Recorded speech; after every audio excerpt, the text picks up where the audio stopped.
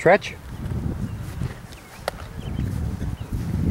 Take your time, man. You control the mount, okay? Don't have to rush.